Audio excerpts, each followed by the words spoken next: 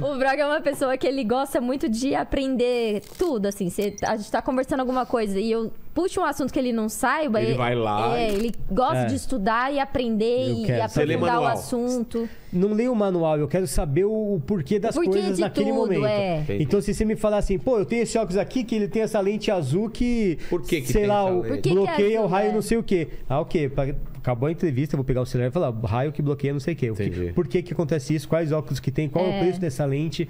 Quero saber Viu, tudo. Paquito?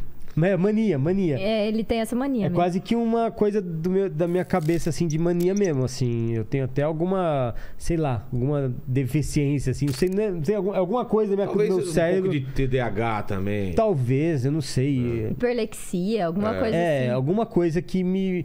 É, é- é até. não é- não- às vezes eu sinto até que não é natural. Mas, por exemplo, pra receita é maravilhoso ter isso. Sim. Não é? Sim. Você- Então, eu acho que. Eu vou descobrir, nem que eu tenha que entrar no flo- um fórum Então, árabe. Não, e aí eu descobri num fórum no Canadá que tava tendo uma campanha de transparência do McDonald's, que o McDonald's estava fazendo uma campanha que eles estavam falando assim, ó, gente, naquela época que falava que os hambúrguer era feito de coisa errada, De tá- minhoca, é, de não sei o aí falou assim, não, vamos, vamos fazer a campanha que tudo que perguntarem a gente vai responder na lata. Ah, é? É, aí o cara falou assim: qual que é o- os ingredientes do molho secreto do, do McDonald's, do Big Mac? Aí o cara falou assim: melhor do que vou falar quais são os ingredientes, eu vou fazer pra vocês. E aí o cara O começou. quê? Só que aí o que aconteceu? Ele não falou as quantidades. Só que aí eu fui pegando no vídeo. Então ele falou Claro. assim: ó, você coloca aqui maionese. Aí eu vi que ele colocou, tipo assim, o equivalente a umas.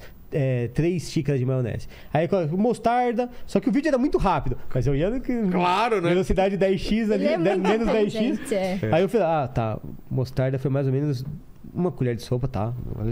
Ah, é reliche de pepino, não sei o quê. O que que é reliche de pepino, né? Naquela época eu falava, porra, fudeu, reliche de pepino. Mas eu não tem, reliche de pepino. Aí alho em pó, cebola em pó, mostarda, é, é, vinagre de vinho branco, é, enfim, páprica doce. Aí o cara, ah, agora você mistura tudo, até os grãos das pápricas se dissolverem, com aquele jeito gringo falando, tal, não sei o quê. E aí não sei o que, e ficou. Aí eu falei, ah, será? Aí eu fui no dia seguinte, comprei todos os ingredientes no, no Achou? supermercado. Achou tudo? O reliche de pepino só tinha uma marca que na época nem sei se existe, mas chamava Companhia das Ervas. Era a única, única marca que tinha uma coisa escrito reliche de pepino. Depois eu fui aprender que era pepino em conserva misturado com Ah, cebola em tá. conserva. É, na verdade, são vários picles. Porque a pessoa acha que picles é pepino, mas não, picles Não é? é? um negócio em conserva. Então, por exemplo, Ah, é verdade, é tem verdade. picles de cebola, picles de chuchu, picles de qualquer coisa. E o reliche de pepino é um picles, um mix de picles. Tipo assim, um picles de, de pepino com picles de cebola, com picles de um monte de coisa. Sim. E aí, na- nesse companhia já vendia reliche de pepino. Eu encontrei no Pão de Açúcar e falei, caramba, peguei ele, cortei. Mas essas outras coisas em pó que você falou aí, você achou? Então, o alho em pó e cebola É. em pó não era uma parada aqui em 2013. Tinha... Hoje não. Hoje, Hoje você... tem. Ah, você joga no, no aplicativo, você acha. Tá. Sim. Agora, na época, eu, eu fui até o. Aquele bagulho no centro lá de São Zona Paulo. cerealista? É, Mercadão? Mercadão. Mercadão. E tinha? Tinha. Eu comprei Ah. um pacote assim, ó, desse tamanho, que só vendia de quilo, né? Nossa, Vendi, comprei um quilo de cebola em pó, um quilo de alho Cebola em pó. em pó. pra quê? Porque né? se você coloca a cebola in natura e o, pó, e o alho in natura, ele vai estragar. Não tem a. Ah, Ah, tá. conserva. É, não tem a conserva. Tempo de conserva. Então, é, é como, por exemplo, o ketchup. Por que, que os ingredientes do ketchup são só é, açúcar, vinagre, tomate, é, açúcar mascavo? Porque são ingredientes que não estragam. Eles, quando você mistura esses ingredientes, a, o, o- Validade. a validade é muito prolongada porque o, o vinagre ele mantém a validade, o, o açúcar lá mantém a validade. O negócio é, são, Entendi. são ingredientes que não, não, não estragam, sabe? Aí você achou todos os ingredientes. Achei tudo, fiz em casa, ficou perfeito, mas imperfeito, cara. Na, na primeira? Na primeira, não, teve, não tem erro. É uma receita que não tem erro. Aí eu gravei e, e foi. E aí explodiu. Explodiu.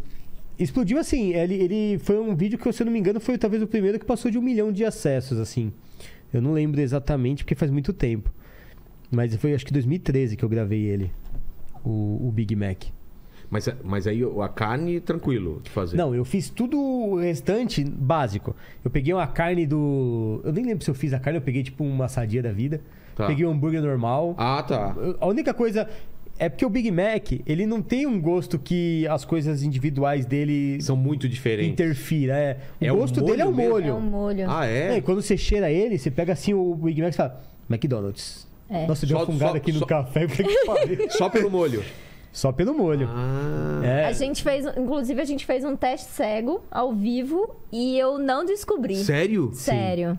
Ela não- Eu falei que o dele era o. Big Mac. É, e real. Teste real. Se eu não me Real. engano, a gente tava fazendo com o Burger King também, não era? Não tinha um de cada? Ou era outro? Não, você fez o lanche na live. Ah, verdade, verdade, o verdade. Sim, eu Mac. fiz ao vivo. Ah, Foi quando a gente tava. Foi ano passado, né? Quando eu tava Foi. gravando o. Que eu tava fazendo umas, uma- uma- umas lives games, assim, e aí eu gravei essa live pra fazer um tipo um teste cego com ela. Do original pra. Pô, quando eu fui na Kátia, eles também não, não, não Também? descobriram, é? Na, É mesmo? É, é a, a, perfeito. Kátia, a Kátia, inclusive, foi a primeira pessoa que me deu oportunidade na televisão, Dona Maria Brog, e virou uma amiga Mulheres? pessoal até hoje. No Mulheres? No Mulheres. Poxa.